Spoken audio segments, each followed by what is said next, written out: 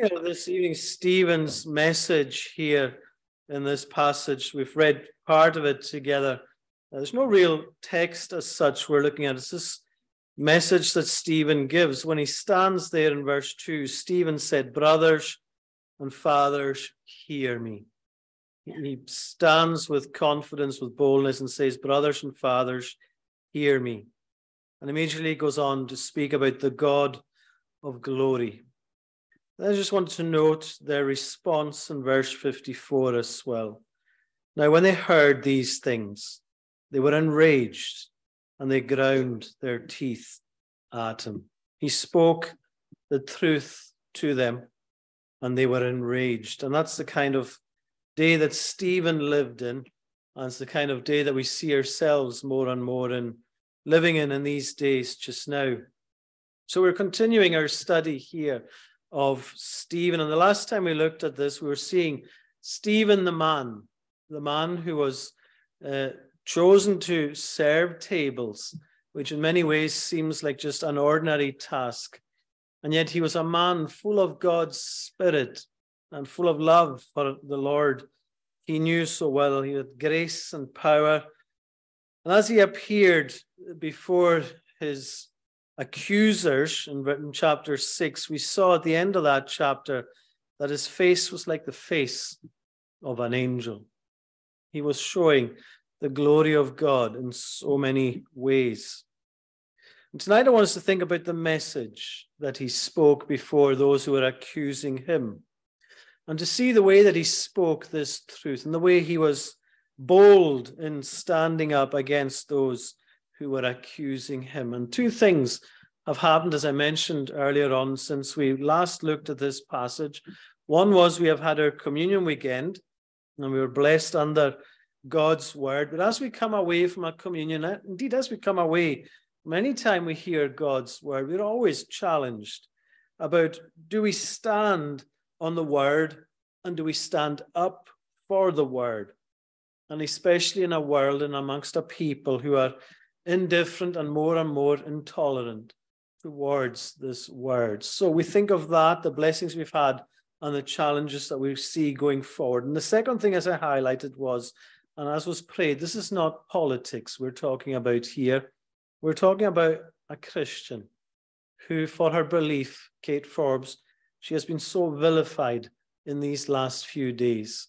We speak of and we hear about how our nation is a welcoming, a tolerant, a friendly place to come. And yet, when someone states their faith in Christ, this is what happens. And that's the kind of nation that we are living in. And so, as Christians, uh, we remember Kate, but we remember all Christians throughout our land that we will not just stand with her and for her, but that we would stand beside her, that we would stand up for the Lord. And as we look at this passage and we look at the message that Stephen has to the people here, we are again reminded of a man who walked in a Christ centered way, a man whose focus and attention was fully on the Lord he loved. And he was filled with Christ, and he too was vilified for it. But here is someone who didn't just talk the talk, but who walked the walk. And that is the kind of Christians that we are all to be. So imagine yourself in the shoes of Stephen. Imagine yourself in the shoes of Kate Forbes just now and all the accusations that are coming against you, all the vilifications that are coming against you. For Stephen, it ended up in stoning. For Kate, she is under this torrent of abuse constantly, day by day. Imagine yourselves in their shoes. What would you do? Stephen maybe could have taken the easy option, kept his mouth shut, and just gone away and gone on with his business. But that was not his way. His business was the Lord's business. And so he spoke for the Lord.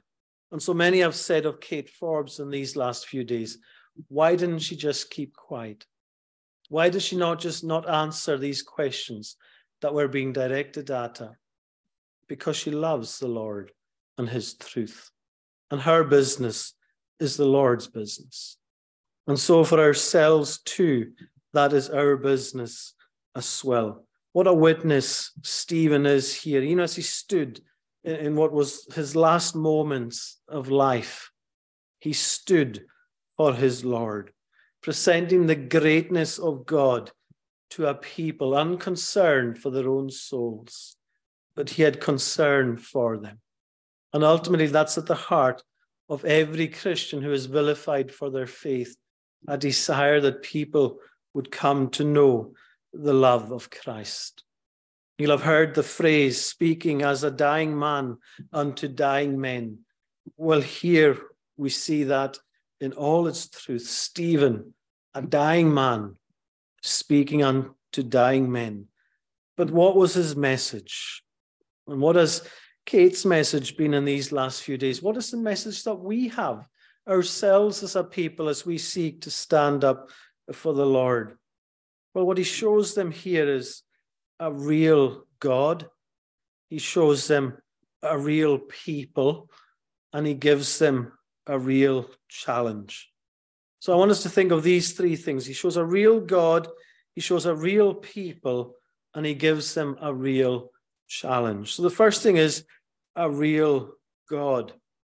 And immediately you see, he speaks there in verse 2 as he stood and said, Brothers and fathers, hear me. The God of glory appeared to our father Abraham. Immediately he is into that sense of a real God, the God of glory. And that is who he knew himself. And standing before uh, those who are accusing him, uh, his faith is in this real God. And, and it's Peter who says in the New Testament that we are always to be ready to give an answer to every man that asks you regarding the hope that is within you. And here is Stephen ready, ready to give an answer for the reason the, regarding the hope that is within him. And that's what we've seen with Kate as well.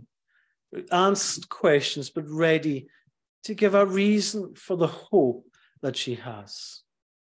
Uh, and that is what we need to be as well. Somebody said of that Peter was right the effective Christian, the Christian who really meets the world with the gospel and really communicates and really makes an impression, is the one who can give to every man who asks the reasons for what he believes. And what is our reason that we have? Well, Stephen here tells him of a real God, not just a real God that he believes in but a real God that he knows and has experienced. And he's speaking here to the people who have made God in their own form.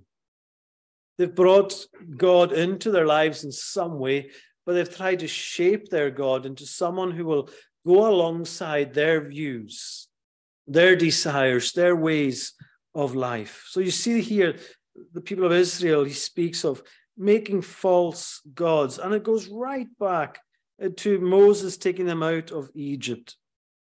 And uh, how the people just rejected him. As, as Moses led them out, uh, he was rejected. And, and they began by making this golden calf. They were rejecting God. And again, we just think of the world of Stephen that was the world that they were living in too. They were rejecting God. Not just that they were rejecting Stephen and angry against him, they were rejecting God, this God of glory, this God who is able to give them all that they need for life, all that they need for eternity, and they're rejecting him. They're gnashing their teeth, they're enraged, it says. And how is it that nothing changes? So today you see the response against the Christian faith is just the same. They're not just rejecting Kate, they're rejecting the whole Christian faith. They're rejecting Christ, they're rejecting God. They're enraged against this God. And they're pushing this God away because it doesn't fit the mold of what they want. But the message of truth, The message of the gospel is this God of glory who is real. And if only they would hear about this God of glory, the grace he is able to show, the love he is able to give. But also, as we've been singing, we're reminded the God of judgment, the God who will not put up with this forever. A people who were put into exile, a people who were put away from God. You see God giving them over to what they want, and it never ends well. And so today we think the same. As a nation, as a people, as we reject God, He gives us over to what our hearts desire, and it never does us any good. We're rejecting the God of glory once again. Stephen was being rejected and yet he stood with boldness. He stood preaching the truth of who this God of glory is, how he has been with his people down through all the generations, even when the prophets were being killed and rejected, even when they rejected God's own son, Jesus Christ, God is still there for him it goes right down to verse 51 when he says, You stiff necked people, uncircumcised in hearts and ears, you always resist the Holy Spirit. Which of the prophets did not your fathers persecute? And they killed those who announced beforehand the coming of the righteous one, whom you have now betrayed and murdered. They have rejected and yet there is still this concern from Stephen, a concern that they would hear. And it's a reminder to ourselves that Stephen believes, believed in this real God. And we too believe in this real God, a God of grace and mercy, but a God of judgment. And that is why our concern should be towards our nation and towards the lost of our nation and the nations of this world, because we know what the scripture says. We know what the end is of those who believe. And so, this real God should give us all concern for the way our nation is and the way the world is and the lost nature of our people. There's um, uh, someone who's in charge of a missionary organization. I can't remember the name of the person, but he was once asked the question, What would you do to keep, or what do you try to do to keep your people encouraged and focused on what they are doing and serving the Lord? You know, how do you keep them uh, from losing impetus, from losing encouragement and being discouraged in the work? And his answer was this Well, do you know, it's not so much what I would do that I would want, it's what I would love to do for them that would keep them going. I would love to take each missionary and show them hell for two minutes. And that would be enough to keep them going all their days. To see the reality of hell as a Christian and then to know what the lost people are going, that would be enough to spur them on. And when you look through the scripture, that is what you see so often with the people of God and they know the glory of God, but they know the wrath of God on those who disobey. They know the end of those who disobey. And so that keeps him going with this message of the hope of the glory of God in the person of Jesus Christ. Stephen, in the midst of all that's going on, he could have avoided it all by keeping his mouth shut, but he didn't. Why? Because he longed that others would come to know this Christ. And although it all seems to end in failure for him as he is stoned, we'll see, God willing, the next time just how the impact followed on, even from his stoning, even from his death. It rippled effect. It changed the life of one man in particular, Saul, who looked on, who's Paul, in the New Testament, the one who was used to God's glory so much. We pray that in the midst of the persecution that Stephen faces, in the midst of the persecution that Kate faces just now, in the midst of the persecution we face as we stand up on the side of the Lord, that we would never be afraid or embarrassed to say, I believe in a real God, the God of grace, the God of mercy, but to the God of judgment. For that is who he is. So Stephen shows a real God. The second thing we see is he shows a real people.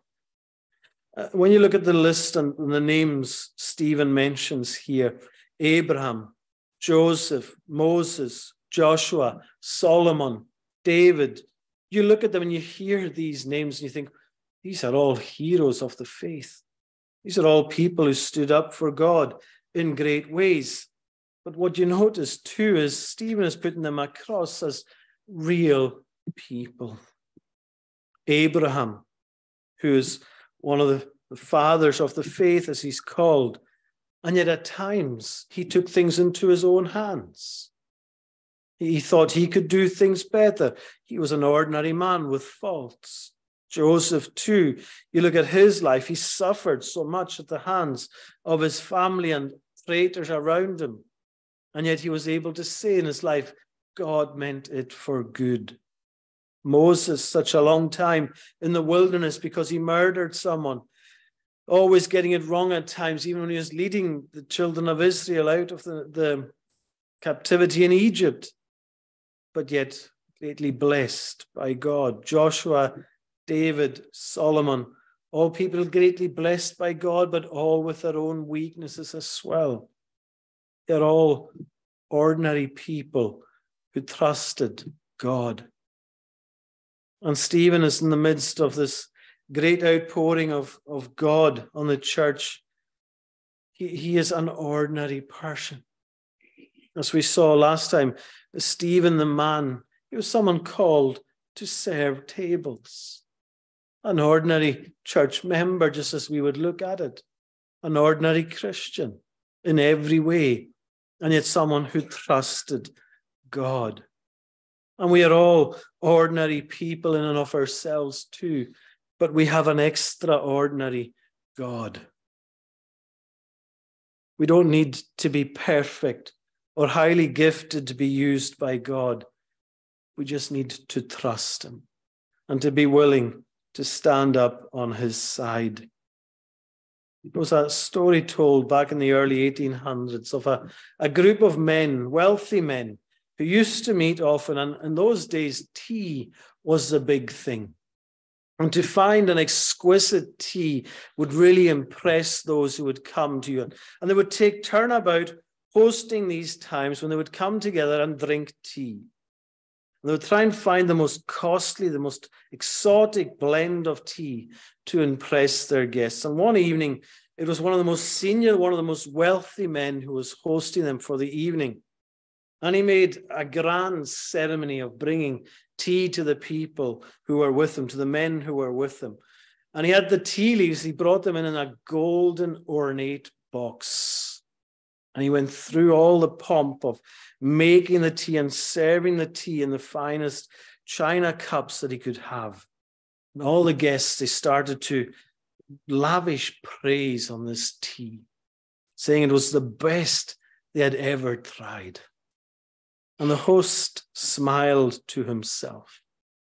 And he said, Do you realize the tea that you are drinking there is the tea that all the peasants around you are drinking? It's just ordinary tea, nothing fancy about it. They were taken aback by that.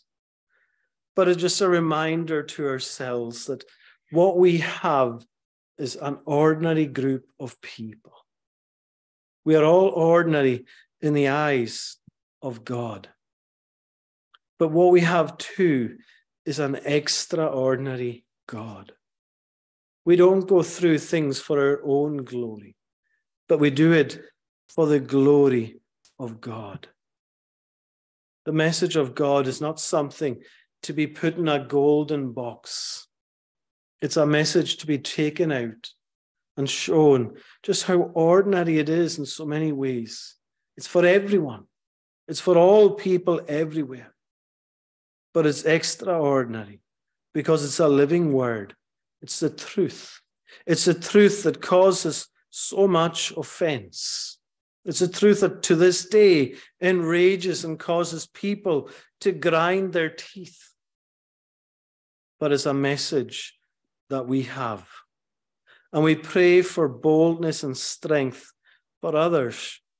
We think of Kate Forbes. Would you want to be in her shoes today? Well, in many ways, you are, because her shoes are the shoes of faith.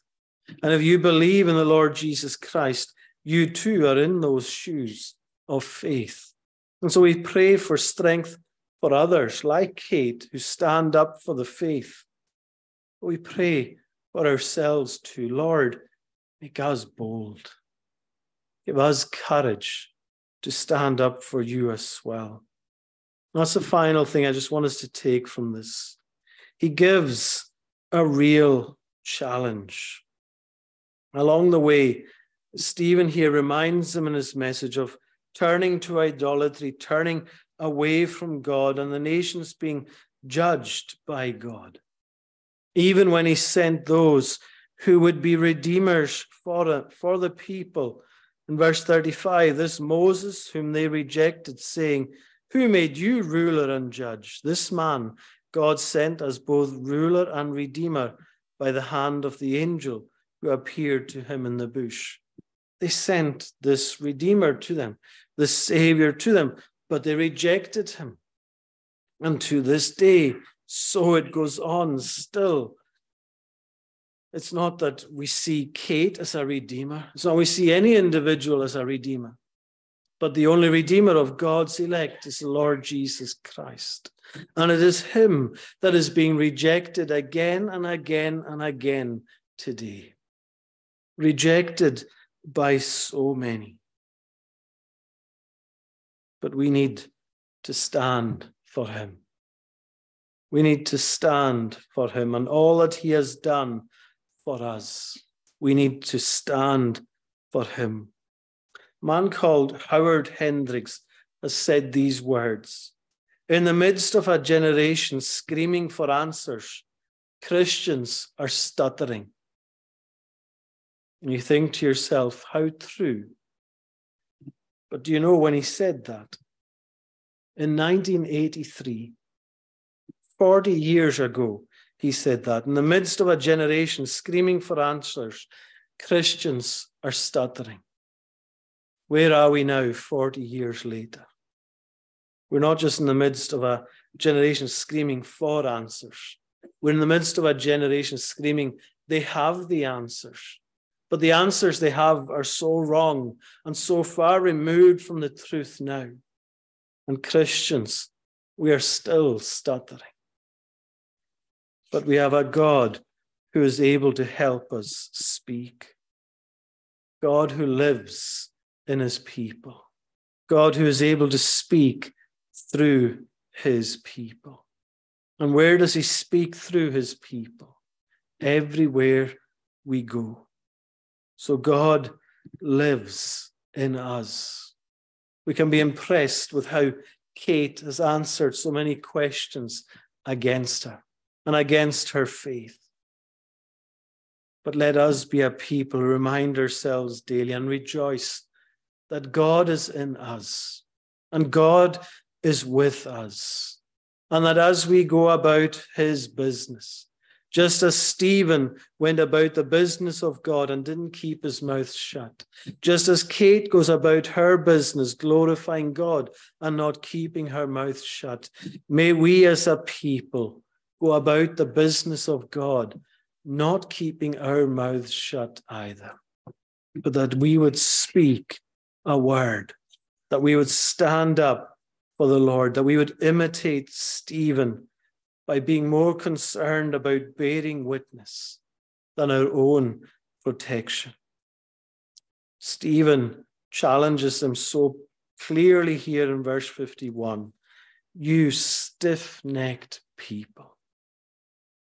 We pray for courage for Christians throughout our land today to stand, to stand on the side of Christ, to stand against the evil that we see around us, to stand with those who stand for his message and for the hope that there is in Christ. That whatever else we think of our nation, whatever we think of our politics, that we would stand and pray, Lord, have mercy on us and come in a day of your power. We live in days like Stephen, where people are enraged against what they hear. But we stand with the same God as Stephen stood with. We stand knowing that he is with us today. May we take courage and have boldness too, to face up to the challenges and reality of persecution as it comes, and to be bold and courageous, trusting in our Lord. Let us pray. Our Father in heaven, we weep over our nation at this time, Lord, as we see the disarray we are in. But yet we thank you and rejoice that you are God of heaven and earth. And we pray, have mercy on us. We pray, Lord, that you will come in your power and in all your glory, and that you will free your people, that you will heal our land, that you will hear our prayers. Lord, hear your praying people even this night, those who are gathered in their twos and threes, those who are gathered in their hundreds. We'd pray, Lord, for all your people far and wide, that you will hear and answer in these days. Lord, have mercy, we pray, and forgive us for our sins, and give us the boldness and courage to stand on your word and to stand for your word. For we ask it in Jesus' name. Amen. We're going to conclude by singing.